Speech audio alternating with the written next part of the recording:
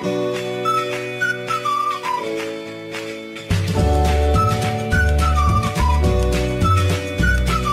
do you say, everybody? Welcome to Elephant in the Room, part of Roll Tide Pods, and a lot of roll tiding going on right now across the state of Alabama and Bama Nation. We're going to talk about that basketball team. We got a little football to get into as well. Alabama continues to recruit. All that right here on Elephant in the Room with Jake Coker. I'm Mick Gillispie. Show's brought to you by Lance's Lock. Lance'sLock.com, man. Lance, he had his fingers on the pulse of this Bama basketball team, said that he thought they could make a run. Uh, and he was exactly right. Heard him saying that on the next round. And then uh, we're also brought to you by My Bookie, MyBookie, mybookie.ag, up to 50% to a $1,000 price match. MyBookie.ag when you use that promo code. And my buddy, Big Sexy Elmo, did it. And uh, he was riding high and he's uh, still riding high right now. Although he did take the under in the Bama game and the over hit, but Bama won, so he didn't care. All right, so let's get him on the screen. There he is. You see him right there next to me, Jake Coker. I'm Mick Gillispie. Great to see all of you guys out there, and uh, great to see you, Jake. Hey, good to see you too. Kind of like I, I was talking about earlier. Uh, to all our listeners and watchers, you're welcome for that North Carolina pick. You nailed it. Uh, yeah, I mean, we both had a feeling early on that line screamed Alabama's going to win this game, and uh, don't feel don't feel as good about that line for the UConn game. But uh, hey, you never know. Vegas doesn't get them 100 percent right, but UConn did go on a 30 point run, giving up zero points while they're scoring 30. I mean, everybody's got to doubt Alabama uh, pretty big time from the public perspective at this point. You know, yeah. Mm-hmm. I, hey, I'm glad UConn won the way they did. You know, us, we got nothing to lose here. You know, everybody, nobody thinks we can take them. Uh, that's kind of the position you want to be in going going into a game. I mean, of course, unless UConn really is that good. But mm-hmm. uh, man, Grant Nelson finally showing up. I mean, he showed up all year, but not nothing like what we saw in that North Carolina game. Yeah. he finally looked like he was when he gets the ball, you know, early on up until you know, up until the last few games, he uh he looks like he's looking for somebody to get the ball to. Mm-hmm. And that in that North Carolina game, he finally, you know, just said screw it, and actually and looked to make plays and be a playmaker at, in that game, and it just looked like it changed the whole dynamic of the of our team. Mm-hmm. Yeah, uh, twelve points in the last six minutes, five minutes, six minutes. Uh, and his quickness, I mean, he got around Bacot. He couldn't he couldn't keep up keep up with him. Uh, I mean, I I'd love to see it earlier on in the year, but I'm glad he's figuring it out right now. Look, I am shocked by uh, the way that this team's played, and I'm in a great way. No one oh, yeah. could have expected that they were going to put it all together like this because they had a good season. And and you look back at it, I mean, like up until the last, you know, couple weeks, they they looked like they were going to win the SEC, but then they get bounced in the first round of the tournament. And and it's been a different hero. You know, Sears led them through the first two games of the tournament. And then you mentioned Nelson and then Pringle and Stevenson were great in the uh, the game against Clemson. And you're right. I mean, they are an enormous underdog. No doubt about it. I mean, like it's David versus Goliath. And and part of me worries about the fact that you almost get the vibe that we're and we should be. We're happy to be there. You know, oh, but yeah. it kind of reminds me of some, like when you guys played Michigan State. like, hey, we made it. you're like, you're like this, you know. Here's a team that's won the national championship. They kicked our ass last year. Oh and yeah. And and, yeah. and and I mean, like they they have just they got a guy that's like seven foot two, and he just like grinds people up. He can actually play basketball. This is Alabama's going to have to play a perfect game to win, and th- and that's going to have to be you got to get a quick start going, score a lot of points, and and make the pace of the game where you tire out that big guy. Oh yeah, I mean, I you can play so fast that you outrun him. You know, a yeah, lot right. of transition buckets, uh, and you got to have performances like Jarin Stevenson had on Saturday. I mean, the guy averages five points a game, and he comes out, and I think he had 16 on Saturday. I thought it was, I thought it was 19. Uh, even better, but four of seven from the three point line. I mean, when the ball is in his hands later on in that game, you're like, I mean, that's the guy you wanted to shoot, you know? Yeah. That step back three from Mark Sears at the oh, end. That's awesome. Oh my gosh. I tell you, I, we were watching in my backyard and I, our whole neighborhood had to hear us. I mean, I, I haven't had that this much fun. I don't know if I've ever had this much fun watching Alabama athletics in one single week as I've had this week. That North Carolina game, I was sitting there next to somebody, uh, one of my buddies, and you know we were keeping it close, and it looked like you know started looking more and more like we were going to win. And I looked over at him, and I was like, "Man, if you sit next to me this entire time and we win this game, you might end up getting hurt.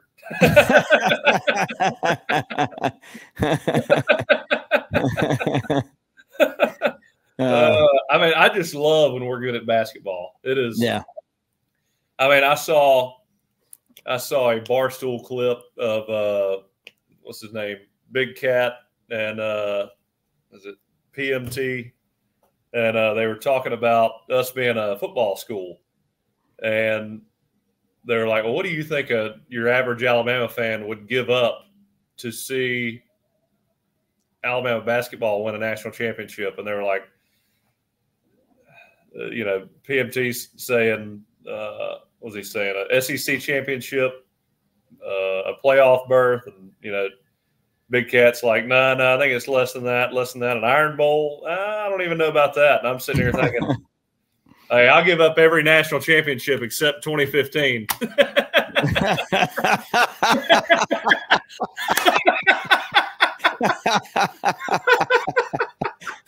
that's, the, that's the quote of the year.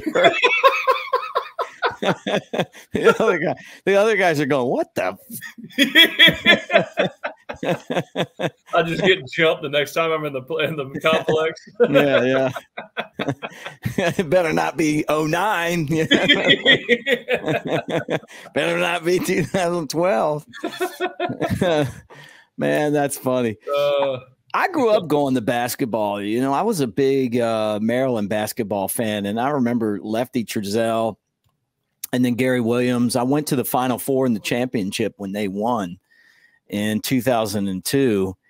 I, I, and I remember them working up to it, you know, like, uh, and it's crazy to me that Alabama is a better basketball school than Maryland, than a lot of schools right now. And it's all because of Nate Oats.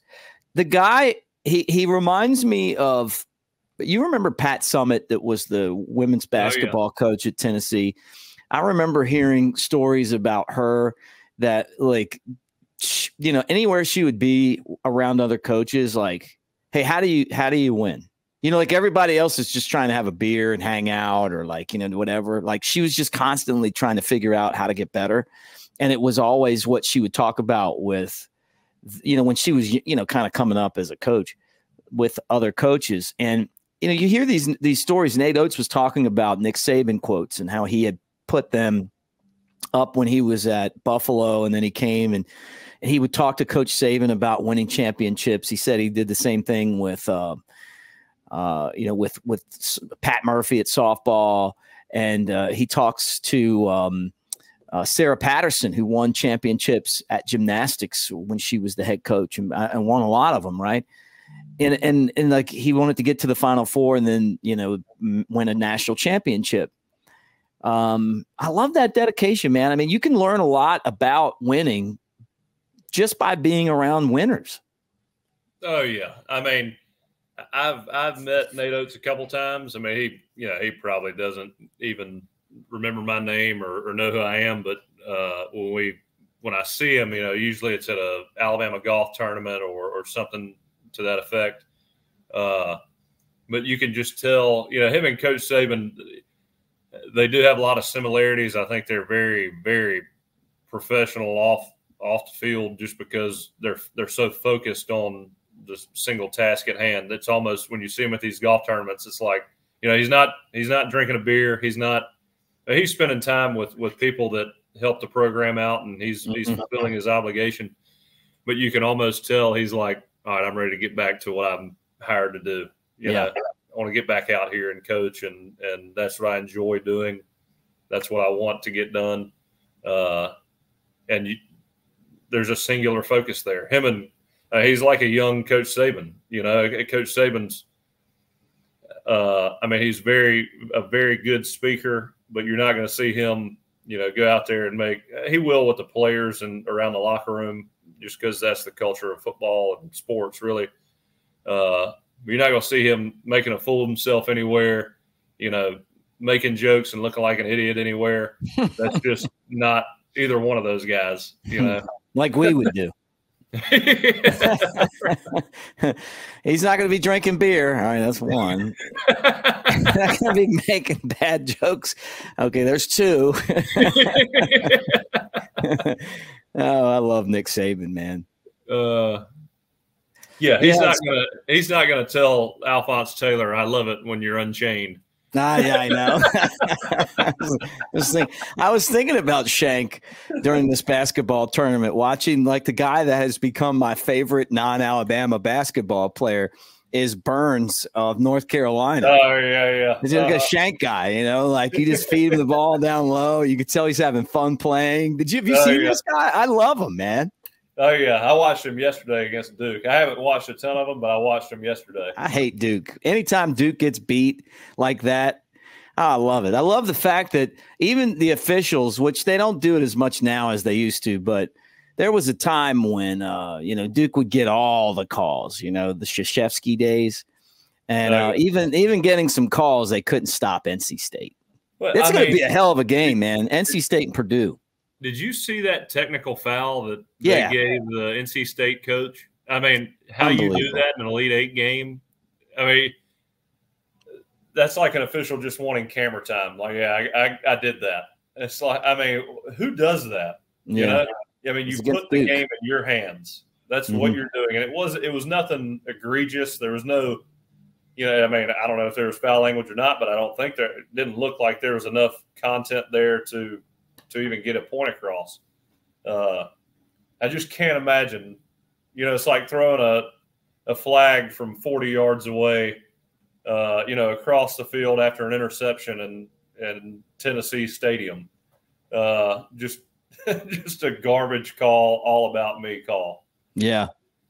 Uh, yeah, it was terrible. Um, I, I, but I, it didn't even matter. They couldn't stop Burns.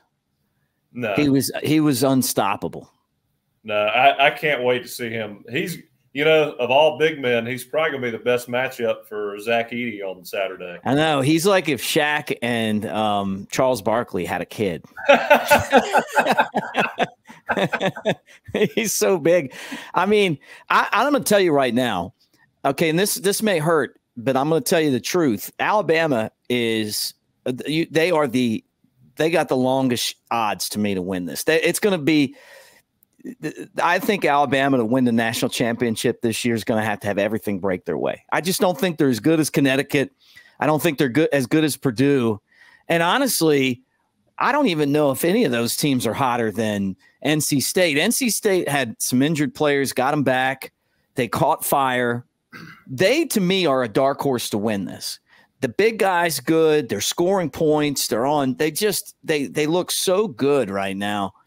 And I mean the way that they just they just beat up on Duke and North Carolina twice. I mean these games weren't even close, man. I mean like that they was, just and that was the third time. Uh, that, wasn't that the third time NC State had played Duke in the last month? Yeah, yeah. And the, in the, those last two games, or they wouldn't have even made the tournament if they hadn't have won the ACC. Yeah. So they're an 11 seed. I mean, the the to me, the NCAA tournament kind of just exposes your culture at at your school. You know, I mean, yeah. When your back's against the wall, how are you going to play? Yep. And I mean, Alabama's proven to us. I, I know to me, I didn't think they were a very mentally tough team uh, going into the tournament. I just, it just didn't seem like you know when you don't play defense, that says a lot about you. Yeah, right. And all of a sudden, it's like I mean, they are diving on the floor, doing everything they can to keep the season alive. And I mean, you just this is the kind of Alabama, this is the kind of basketball as a fan, you know, you you'd love watching. Even yeah. if they lost Saturday, I mean, I'd have been, uh, I I would have hated to see it, but at least I could accept it, you know, knowing they played their asses off and got after it. You know? Yeah, yeah. Not, well, not intimidated, not afraid of anybody. I mean, no. UNC, again, the UNC game uh, that guy that's been there forever, Bacot. I mean, I could see them, you know, I just getting kind of intimidated and, and rolling over. And then you got Grant Nelson coming in here, playing like his hair's on fire, not afraid of anybody. You know, coming out of South Dakota. Uh, I mean, you gotta love it. yeah, I do. I do. Uh, or North Dakota or whatever. Yeah, I, I still can't believe it. I'm I'm I'm just so excited about what's going on right now. And we and I've said this on some of my other shows. We as a fan base, we have to get behind this basketball program. We got to stop not showing up for some of these like, you know, games in the early season. We've got to stop uh, you know, basically ignoring them until the tournament. We've yeah. got a legitimate we've got a legitimate program right now. And and I'm telling you, and a lot of you guys are agreeing, and a lot of you guys might not want to hear this because we love football too, but you don't make the final, you don't make the final four by accident. Okay. It's yeah. the toughest thing to win in college is basketball. Having to go on the road at all these places. And we made the tournament three out of four tournaments. Remember, they didn't have one in 2020, yeah. right? And never made it any lesser than the Sweet 16 in that three year run. Yeah, right. And even and we've had the number one overall seed, and I'm telling you that that team just had all that bad stuff going on, you know, and and it really affected them. Uh, and and and this year's team is kind of the team that is setting us up for a, a, a, chance to really win a championship because now you know what it takes. Oh, You're yeah. going to be able to go out and recruit those type of players. We've talked about the the gym being uh, not so good, but let's make it a good place. Yeah. Uh, in the in the name of the great Fluffopotamus, my buddy, who I, I, I wish that guy was oh, here man. to see this, man. I just wish that he because uh, I never would have. I, the cynic that I am never thought that there was going to be a day when we were in the Final Four. Well, I mean, you just wow. as an Alabama basketball fan, you get so beat up, you know, pulling for them. I mean, last year is is the year we're going to win it all, and you know, we go out there and you know, again, I know they're playing hard, but you know, lose to San Diego State, and you're like, well, that was it. That was our our one chance, and then Nate Oats puts together a team that's, you know, a lot of transfers. Um, he's got some young guys coming up that have played a huge role. Uh, I mean, Jarin Stevenson's 17 years old, I think, or maybe he's eight. Is he 18 now? Yeah. Uh, Rylan Griffin, he keeps him around, has been instrumental in us winning a lot of games, especially in the tournament. Mm-hmm. I think I can't remember what he shot from three the other night, but he scored a lot of points. Um, I mean, I, you know, you find out a lot of he, Avery Johnson left him a lot of good players. I mean, uh, for the first two years. Yeah, like Petty and those guys. guys. Uh, Herb, Herb, Jones, Petty. Oh, yeah. yeah. Oh, yeah. Um, John Petty, three Yeah, that's what I said. Yeah, John uh, Petty. Uh, but now, now you're figuring out, all right, how how's Nate Oats going to do with a you know brand new batch of guys every year, then out the transfer portal, and he's put together a team. Let's see, three out of the five starters or transfers. Is that right? Yeah. And you're in the final four. I mean, just unbelievable how quickly he can assemble a team. And you think about his style of play. Have you seen the shot chart from last night or Saturday yeah. night? Yeah, it's great. How unbelievable is that? Well, it's, it's, it's, but that's what that's what gives Alabama a chance against Connecticut. You have to hit the threes, but the analytics tell you the mid-range jumper is a waste of time. So what yeah. you do is you do exactly what they do. You shoot the three or you take it to the basket. What the what the issue is is when they miss the three, and then they take the basket away from us. We're very very beatable. When we hit yeah. the three, oh man, watch out, dude. Watch out when we hit oh, that three. And I mean, you think about it, the more threes you shoot, the more opportunities, offensive rebounds you got. I mean, because those balls are flying off. I mean, you, right. and those guys were going for him this time. You know, I thought uh, Pringle had the, the best game. I thought he had the best game last oh, time yeah. out because of the offensive boards, man. I mean, he's in there and he's getting in there, but all those guys were fighting for the ball. They were so hungry. Pringle has been a different guy since that Grand Canyon game.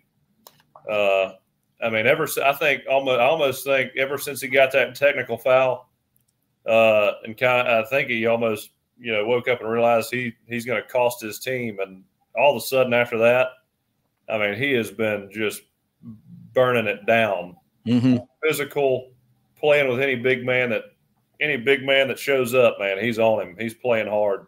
Yeah. Uh, and Estrada, man, I love Estrada. Just cool head, I mean, keeps his cool, handles the ball well, has been scoring a lot of points and kind of gone under the radar. But can you imagine how much fun he's having?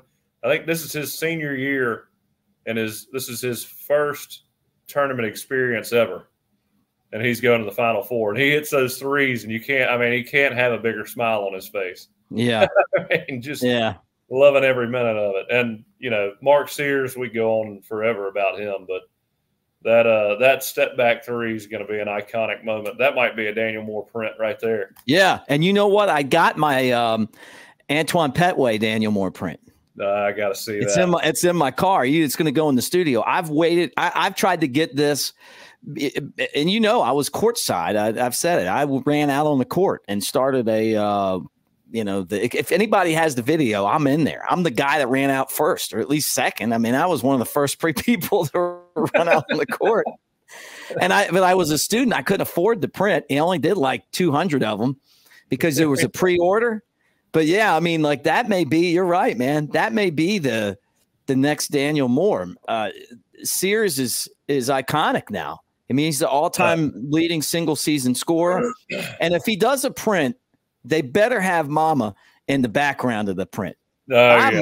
Loving her, man. She makes the whole thing. I mean, she's fired up, isn't she? She's great, think, man. I don't think they've ever panned over to her and her being her sitting down. She's always standing up. You know, we need to have her.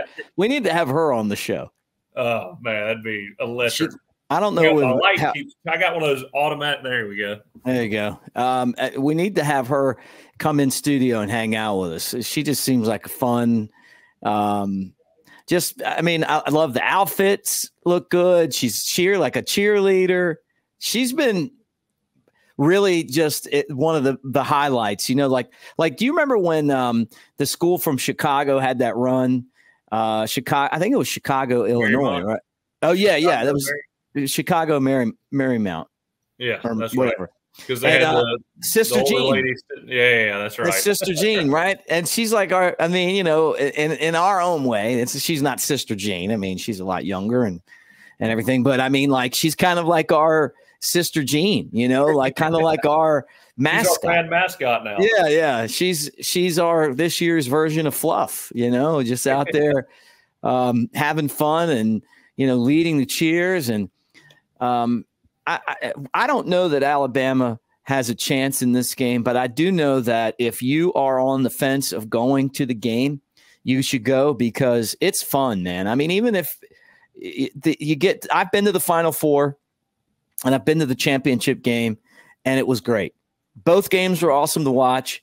It's like a double header of great basketball, high stakes, and then the championship game's great too. You know. Well, here, you know, my argument for that is is we may lose and probably should on paper, and it's a it is a you know a risk going out there to see a loss. But man, that percentage. I mean, if we do win, that's going to be the best basketball game Alabama has ever played. It will be the most memorable game you've ever seen. To beat UConn Yeah, I mean, it's like like the miracle on ice. yeah, yeah. I mean, nobody expects us to win or even play them close. And uh, gosh, I'd love to sit there live and lose my mind in the in the stands. Yeah, so much fun. Well, and I'll tell you this too. Um, you know, there there was a uh, a great boxing match in the '80s. You know, where um, there was a Russian boxer that no one could beat, and this this guy was a killer. I mean, like he he would kill you in a boxing match. He did that to a, a former champion, and you know to. Uh, you know, to, to kind of make up for uh, the loss of a friend, one of the all-time great boxers actually went to Siberia and trained, and then and fought this unbeatable champ. And I just remember him saying, "He's just a man. He's just a man." And and Balboa uh, did win that fight. hey, we are America's team now. Ivan Drago. Do you remember? so they're like the Ivan Drago, and we're like Rocky. You know, we're just little Rocky over here. You know, like, like we're just glad to be here. How you awesome know, would it be if we wore the Alabama tops with American flag shorts? Oh, I know. I would love that. I would love that. Can you imagine how awesome that would be? that would be uh, great. Uh, and that's what we're going to need. We're going to have to have that kind of an effort, man. We're going to have to have that kind of an effort because we are uh, major, major underdogs in this one. And I, I know it's 11 and I feel like it should be 11, 12, 13. I mean, I, but that yeah. does not mean that you couldn't do something about it. I mean, you know, Bama football in, in 92, what were they like a 17 point underdog against Miami and beat them, you know, or whatever it was, or huge underdogs. Um, you know, so you, you can do it. And I, I it's, but it's going to take, it, it, it's really going to take shooting. Like they're going to have to, they're going to have to shoot the three early. You know, it's oh, one of those games where they hit like eight out of ten threes to start the game and, and yeah. totally mess their rhythm up the other team. And they need, I mean, I, it, it's when you got a dominant big guy in, you know, in the paint, I, I almost, it seems like Grant Nelson is in foul trouble 60% of the time we play. Mm-hmm. I hate to, I mean, it seems like our bigs get in foul trouble more than any team we play on a consistent basis. Mm-hmm. I'd love to see us drive to the bucket and try to get their bigs in foul trouble. Of course, mm-hmm. I guess it's kind of tough to do when you're shooting as many threes as we are. But I'd love for just one of the main goals to be, hey, I don't care if you get a charge, just attack that guy. Get mm-hmm. him three fouls as quickly as possible. Because so, again, it just I mean, it's if our guys get in foul trouble and that that big white dude UConn has is able to just run free on our guys rotating in and out, it's going to be a tough, tough way to go. Yeah, he's a big guy, and he can play too. Oh yeah, yeah. He, he's he's a basketball player. He's not just a big body.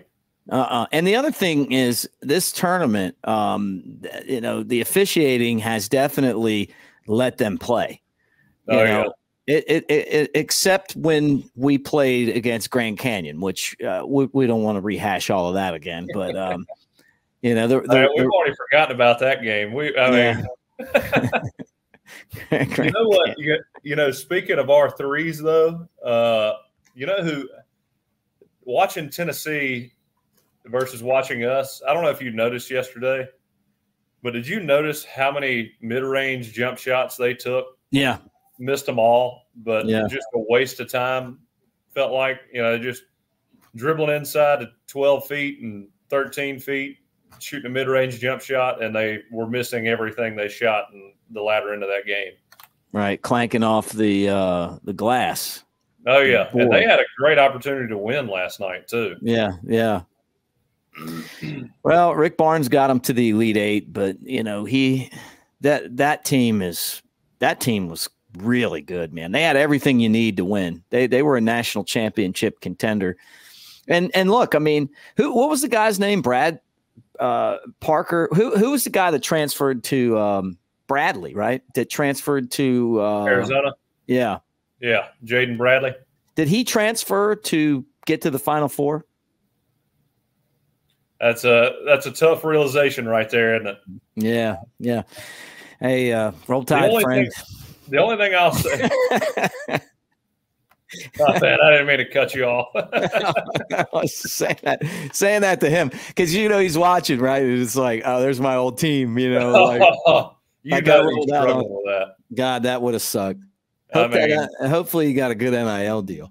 You know, the only thing I can say in his defense is he wasn't a known shooter, uh, but he's a heck of a leader, obviously for Arizona now. Heck, he, he almost won the game for him. Uh, uh, for Clem, I mean against Clemson. Uh, you know, hit a big three, but he's not the shooter that that we have. And Rylan Griffin and uh, Mark Sears and Aaron Estrada can he can sling it up there. I mean, mm-hmm. Let's, I'm trying to look at his. Uh, well, he would have been a big part of the team. You know, the other question is, um, you know, had they uh, it had uh, uh, what was the guy's name? Ah, the big the big guy that thought he was going to be in the NBA and he's in the G League right now, off of last year's team. Let's see. You're not talking about uh. Well, we had a first round draft pick. No, no, no. Come two. on, you, you know we who I'm talking two. about. Uh, you talking about Noah Gurley? I thought he no. was a senior. Oh man, I'm having a brain block right now. Just, Charles Bediako. I thought Bediako. Bediako. No, Bediako could have. Yeah, he could have came back.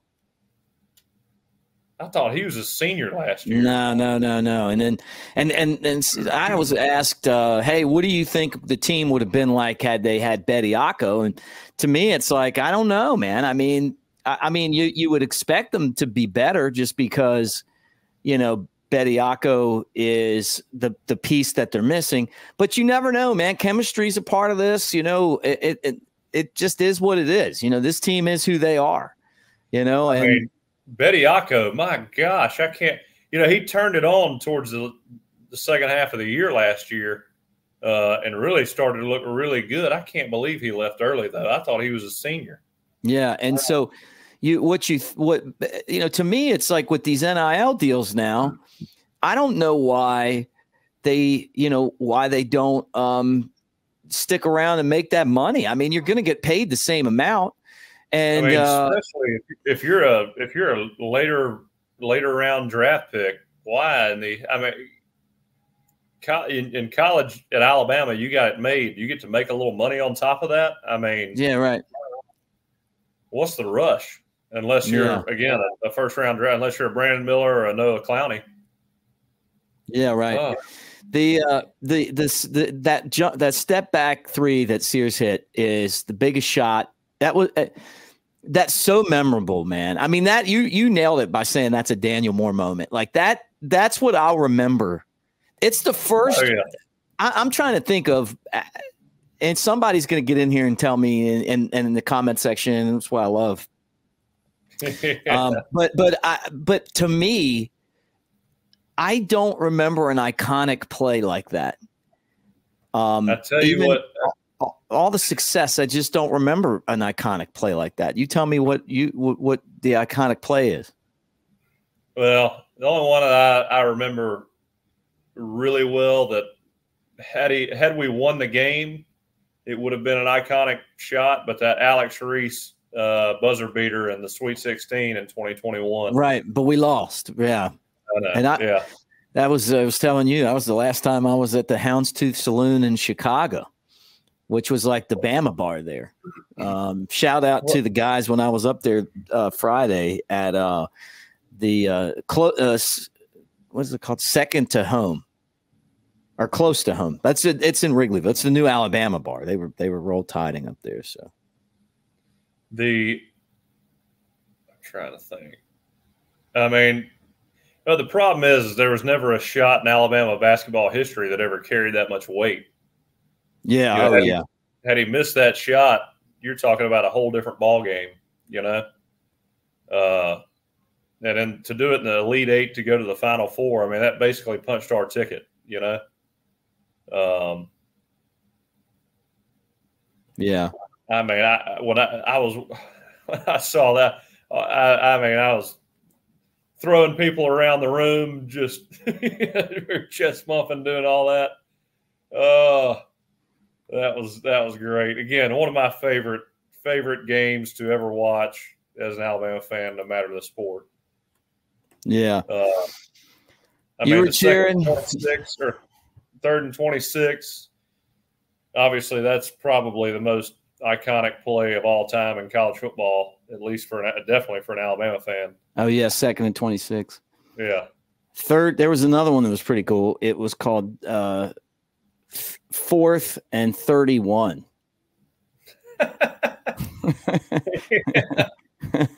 you know, the only the only problem with that one is that it was like, you know, you're so. I was about I was about to just walk outside and stop watching because I didn't, you know, mm-hmm. I, was like, we're really going to lose to Auburn, who's seven and six and six right now, mm-hmm. or six and five to ruin let, our season. Yeah, let them run uh, out on the field. Oh yeah, yeah, they'd be rushing the field and all that, and it was almost like a relief that that play happened. You know, yeah. I mean, this this step back is like. I mean, I'm not going to say we're just happy to be here in the Elite Eight, but I mean, I don't think a whole lot of people gave us a shot to be in the Final Four. You know. Oh yeah, look that that was when it was like we were winning. You know, like Sears has just been begging for some guys to help him out, and he mm-hmm. got it now. You know, like he doesn't have to carry the well, uh, he didn't have to carry the team in the uh, this second round because it was other guys that did their job, and then you know what he he didn't have to score 30 points. You know, yeah.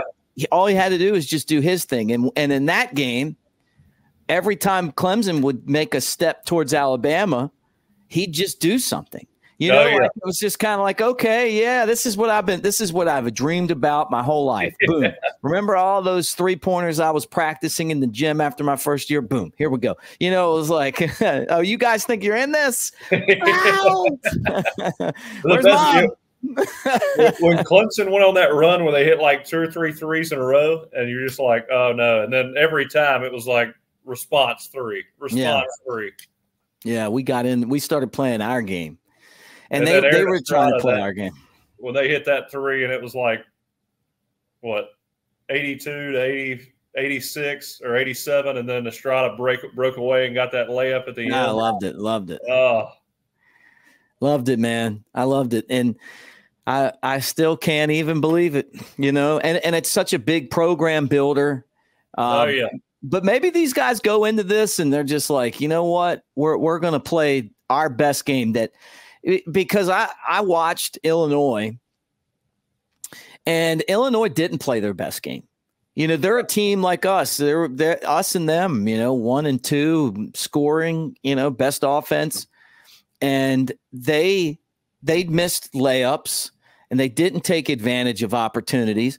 And then when they got to, uh, you know, they tied the game, they gave up 30 straight points. But yeah. they they kept missing shots. You know, it's not like Connecticut's defense is so much better than anybody else's. It was the pressure that they put on themselves. Um, and, and you got to play loose. You know, all the teams that win – are teams that play loose. I, I don't really know why that is, but it just is. You know, when you play tight, it's hard to win games. No, yeah. Well, if you are on the wrong end of a 30 to nothing run in the Elite Eight, you didn't play well. Yeah. I mean, I don't care who you're playing. I mean, me and you could play Jordan Bird two on two. If they score 30 points in a row, I mean, me and you aren't we're not playing well. do you think we could do you think we could score on Jordan and Bird? maybe in maybe in 2024. I wouldn't talk any smack. I would just sneak attack them. oh yeah, that, I act like I can't do anything, and then just do it real quick. Because they'd be keyed in on you. uh, can you imagine? I mean, can you imagine how pissed off you'd be as a, if your teammate, if you're playing just hypothetically Bird and and Jordan, and one of your teammates starts talking shit to one of them. I mean, no, I would not like that. I, I, just pause everything and go slap him for Jordan Bird. yeah. Anybody that says that LeBron is better than Jordan, you're just saying that. He, he's not. Jordan was the best basketball player that's ever put shoes on. He's Babe Ruth of basketball. And um, if he wouldn't have left for the, the Barons, he, he would have won two more championships oh, yeah. in a row. Like, come on, guys. It's, it's, there's just never been anything like it. And I, I, guess part of it is that LeBron wanted to be Michael Jordan, wanted to Kobe Bryant wanted to be Michael Jordan, you know, or or whatever. But Michael Jordan was amazing, man, just amazing. Well, I mean that that game back then was so different. Uh, you know, if you got fouled, I mean they were making every foul count.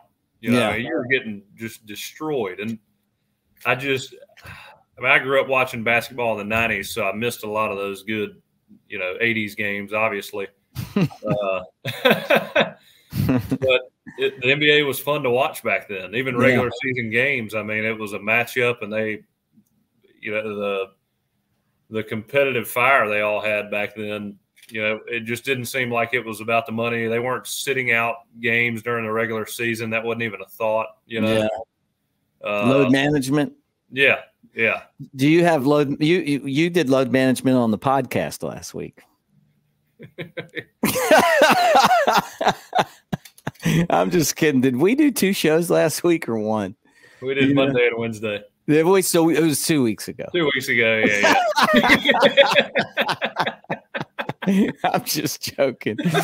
what what is the you the, the the whole load management thing? Like I I came mm-hmm. along and I guess you did too. Like when when I was coming up, I mean, you know, you just worked. You know, you just did your thing. Like you went out and played. It's so crazy to see like you know when you see in the NBA like when the best players aren't playing. You know, and baseball it's the same thing with baseball. Like they they have guys that are like starting pitchers that used to be you used to try to throw a complete game. Now it's like if you see a guy go past the sixth inning, you're like, oh my god, you know, like. I mean, let me tell you, uh, there should be if you're getting paid, you know. 10 20 30 million dollars a year load management should not be in your vocabulary you right know? right right i mean right. I, I, get a guy shoveling asphalt you know laying concrete i mean those, that guy you know, in 100 degree heat. I mean, I, I, I respect and, and feel for those guys, but man, you're getting paid a lot of money to play basketball. Uh, you know, your ass better be out there. Yeah, right. That's what, right. Because see, I, I I grow up thinking that like you know you could actually do something like this and get paid. You know, like talking sports or playing yeah. sports. You know, like it was like oh man. I mean, uh, we we had a wiffle ball league, and um, I started a newsletter, uh, wiffle ball newsletter. You know, and it was it's so funny. We to change the color font on there, so it'd be like green font, purple font, black font, you know, yellow font, like on an old typewriter. Like, never, never knowing that that's really what I would do one day. Oh. Did you guys play wiffle ball in your neighborhood? I don't. You probably just played football all year round and basketball. we, uh, we did it all: baseball, football. I mean, depending on what season it was, you know. Uh, yeah. I was I, I, I never was a huge video game guy. Uh, play a little bit, but I mean, I would have much rather been outside playing pickup basketball or mm-hmm. baseball. I mean, I I used to wear my dad my stepdad out. I mean, my dad took a beating. he took a beating. Uh, we used to have a lot of fun. So you would you be like, come home and be like, hey, let's let's go throw the ball or let's whatever. Oh yeah, oh yeah. And we play. I can't remember how old I was when I started beating my dad in basketball. Of course. that I remember. Are you talking about Bryant? Oh yeah, oh yeah. But I'll tell you this, man. When I when I got down and he was close to scoring that last basket, I got my fouls in. oh, yeah. I had a cousin. yeah, I had a cousin that uh, he used to beat me in basketball all the time, and he was he was taller than me eh, because he was so much older than me. You know, like I was in middle school and he was graduating high school, I think. But I'd go to their house and play and play, and then you know, and then something happened, and I started winning, and then he quit playing me. like the only way I could score when it, when I was like, you know, I don't know, middle school was like the hook shot, you know, like the cream hook. just get it, throw it up. Then when I was like eye to eye with him, right? Then I could take him to the rack, get oh, rebounds, yeah. jump. But then when I started jumping over top of him and tipping the ball to myself, he don't want to play no more.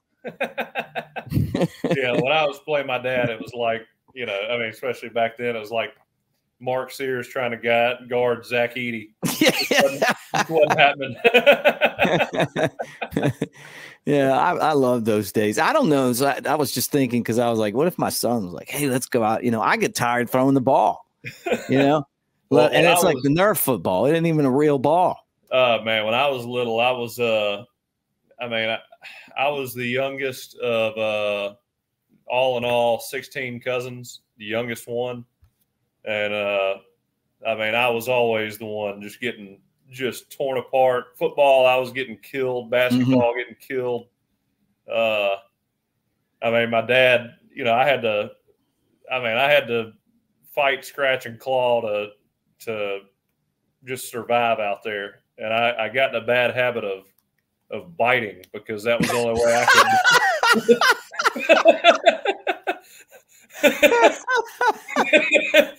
so, so that was that was the only way I could survive out there. what the hell?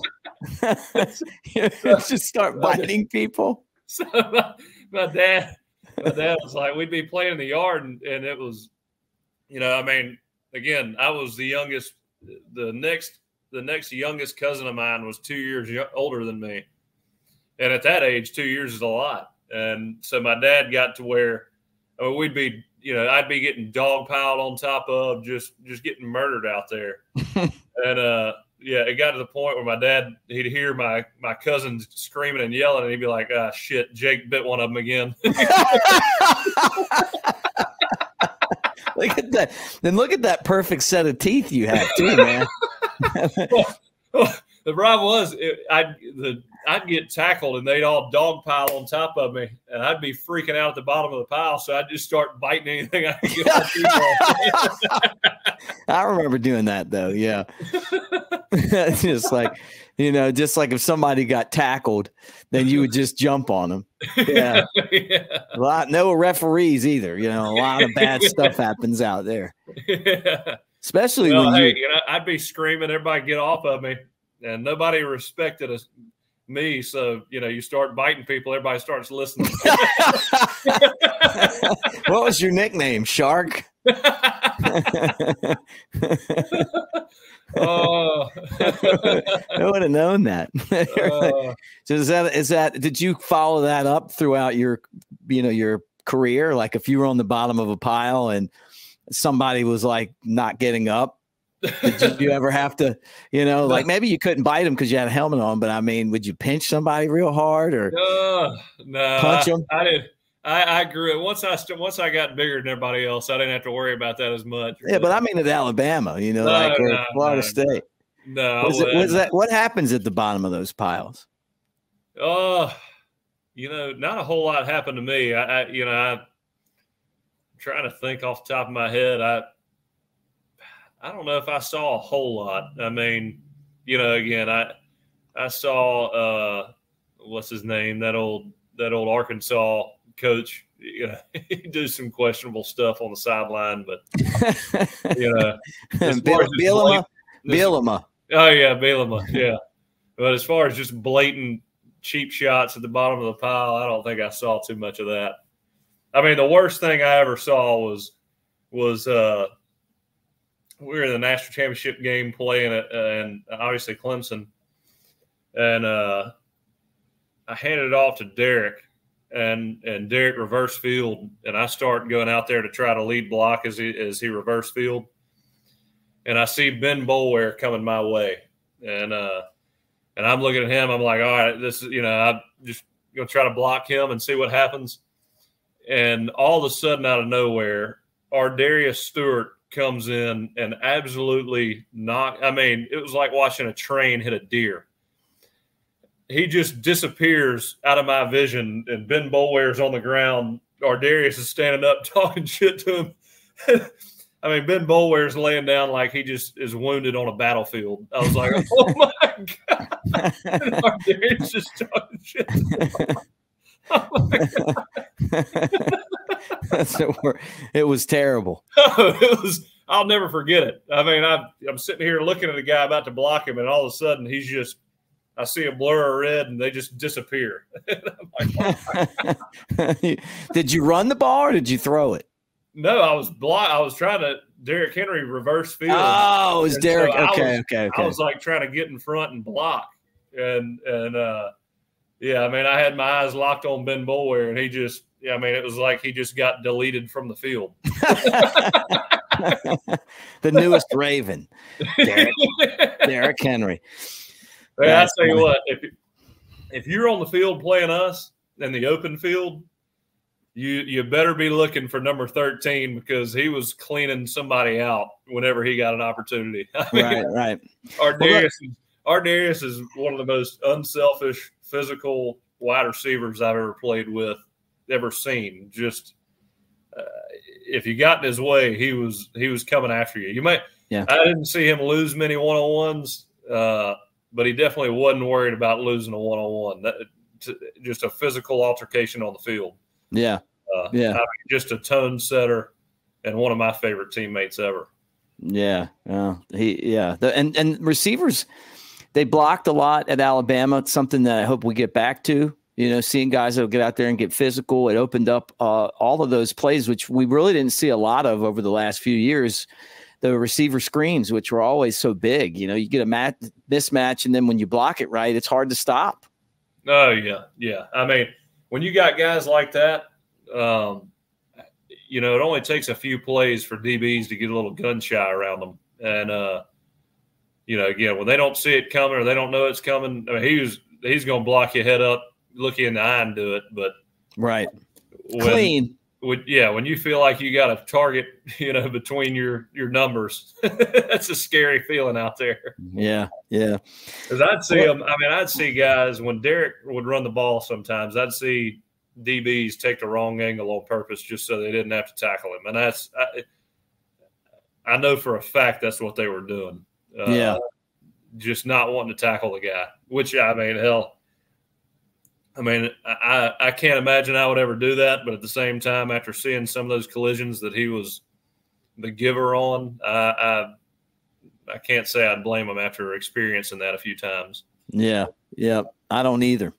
I, I, I, told you I was down in Jacksonville and I'm watching the Titans and the Jaguars play, and it was like watching little leaguers. I mean, in that particular game, like he was running over Jacksonville's DBs, like no one wanted to touch him. Like it was honestly, it was, it was kind of sad to see an NFL team get beat up by a running back. Just like get ragdolled. I, I, know he, yeah.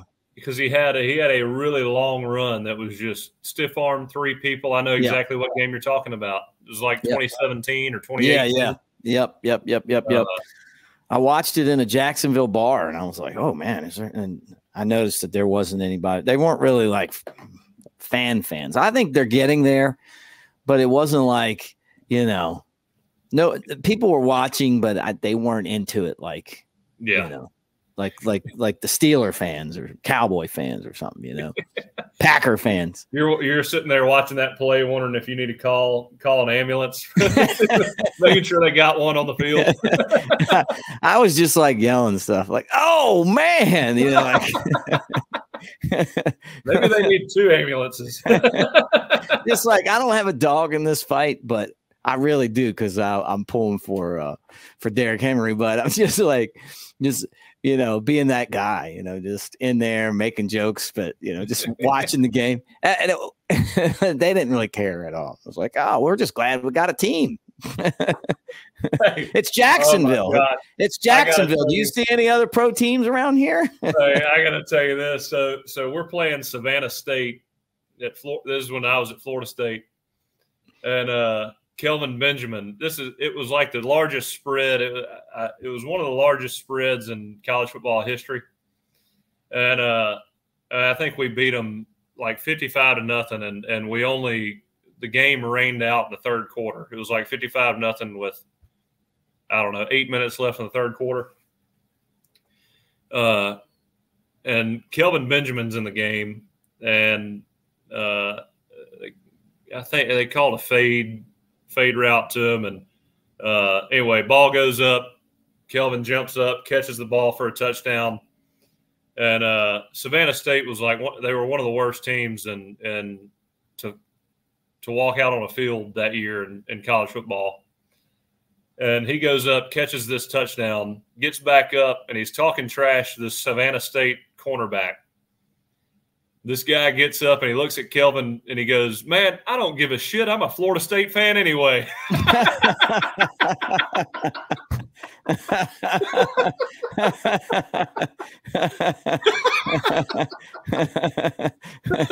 That's funny.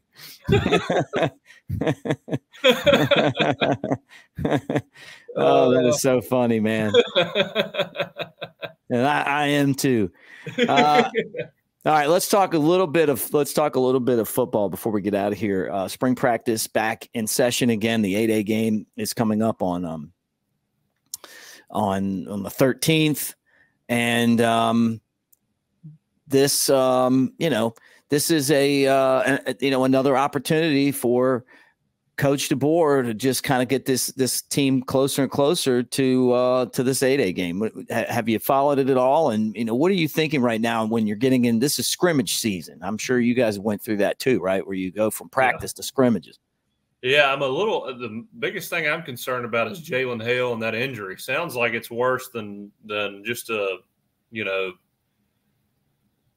sprained ankle or I, I, I didn't think it was I didn't know it was severe. I didn't know he went to the hospital hospital for as long as he did. Yeah. Uh, have you heard an update on that, or do you know what it is? Uh, I it's a. I thought it was a broken leg. Okay. Well, or I don't know. It, it, they said leg injury. I don't know. Somebody told me kneecap. I, I, I think it's a a broken leg, and I, I really hope that it's something that he recovers from fast. It's just that's a bad injury when you're a wide receiver. Yeah, yeah. No, at this point, you know, you're you're still running your base offense, and and hopefully they're they're getting a good grasp on everything. Kalen DeBoer is bringing in. You know, the thing about Coach Saban is when a a new coach came in, he kept the lingo the same. And so no matter who the new guy was, you didn't have to learn a new language, you know, every time a, a coach came in. And I guess Coach Saban did it that way so that he uh, I mean, as many often OCs as he was replacing, he didn't want to have to do that every time a, a new guy came in. Right. Um, but hopefully they're getting that down. I mean, uh, you know, I, I, know it usually takes some time to to understand a, a, new offense and and try to get all that under your belt. Right. I mean, in, in 2014, I, I, didn't have a spring to learn. I wish I had, but uh, you know, I was still able to a lot of work over the summer and and during camp. I felt pretty good about everything. Uh, but hopefully they can put together that offense pretty quickly and get them on the same page with uh, maybe some some limited stuff to begin with. But uh, you know, it's going to be communication. I think is probably going to be something that looks a little rusty out there during the spring game, which is which makes sense. Uh, you hadn't been on the field, but what three to four weeks, and mm-hmm. uh, you know, it's going to take time to get all that down, get signaling in plays down, um, and, and, just feeling everybody out. Um, so really, the, the communication with the new offense to me is going to be key and in, in, getting this uh, this team running at a, at a smooth pace. Uh, outside of that, you know, I think it helps. You got Jalen Milroe in there, who obviously is a leader on that team and a guy that can kind of push the pace and, and get everybody uh, learning at a rate that where they feel motivated to, to do so and, and get on the same page. Uh, but you know, again, this spring, I, am excited to see the, the base offense and, and how we operate within it. Uh, but I, you know, again, being a new program, new offense, I, I think, you know this is going to be very limited in comparison to what you see uh, week one of college football season next year. Awesome. Well, we'll be excited. We'll get together again uh, later this week, and we'll talk, uh, you know, more about the matchup with UConn and spring practice. But um, man, I'm as excited as you about this Final Four and and football spring practice. I'm not trying to say that I don't love football. I'm just saying that uh, I'm in basketball mode right now. Uh, yeah, I'm the same way. I can't. Again, after the week we had last week, it's hard to think about anything else. You know, yeah. uh, especially. I mean, you you've been pulling for Alabama basketball as long as I have. I, I you just haven't seen years like this ever. Mm-hmm. Uh, Do you think that um, who, who's more upset about the loss, uh, Clemson or Auburn fans? I would tell you the, the one the one thing they had in all in Alabama Alabama basketball or football as well. The only argument that they could possibly make because we beat them more times in basketball, made it the Sweet 16 more. The only thing and the last thing they had to die on the on their hill was us not making it to the Final Four, and all that shit they talked last year about. Oh, if they didn't make it this year, they, they'll never do it. and, and now, now you're you're little brother in all phases, every single phase of athletics. Yeah, let's win. Let's just shock the world. Win two more games. Oh my gosh, Tuscaloosa will come apart. Yeah, I mean, I, I, I saw some videos of uh, Tuscaloosa on Saturday night, and man, that looked like a place they, they were having a lot of fun in T Town. Uh, yeah, I watched the um, 2020 championship in Tuscaloosa, and then I told you I think I made a video of the the block party that broke out after we won that went that I sold to a guy. Went viral and then some just I got a random message like hey can I buy this from you? And I ended up getting a check you know like a like a 600 bucks you know for a 12 second video. But what it was was that they they it was the whole streets everybody's in the streets I'm panning around, and then this guy had climbed up in a tree, like out in front of Rounders. I may have then, seen that video. Yeah, and then another guy I probably did. Yeah, and another another guy got on the roof of the CVS. and next thing I know, man, like I had like it, it, I had it's probably the only time that a video of mine went viral. Well, maybe not the only time, but it went viral, and then uh because uh, I can remember some other ones, but um and and then at the next morning, like it was everywhere, man. Like news, I mean, just everywhere. Oh, I yeah. turned, you know, and it was, was like no, the, the, there was no COVID protocol that night in uh-uh. Tuscaloosa. Uh-uh. That's, that's sure. why they like. That's why the video went. It wasn't that they were happy that we won. It was that, yeah. oh my God, where's your masks? You're not six feet apart. you better have your shots. All right. Well, you got anything going on uh, that you want to talk about?